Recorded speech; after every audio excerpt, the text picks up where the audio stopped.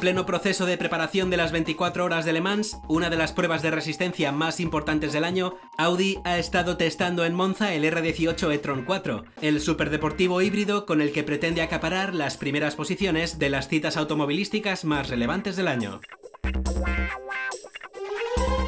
El eje trasero obtiene el impulso de un motor atmosférico convencional, mientras que el delantero recibe la potencia de dos motores eléctricos siempre que se circule por encima de 120 km hora, dejando de ser un vehículo con propulsión trasera para convertirse en uno con tracción integral. El tren anterior recupera la energía cinética de los procesos de frenado, convirtiéndola en electricidad que se recoge en un volante de inercia para su posterior uso en las aceleraciones.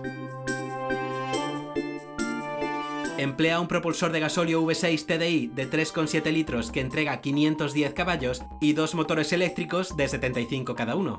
Es el modelo más ligero que Audi ha fabricado nunca, incluso con el peso adicional del sistema híbrido.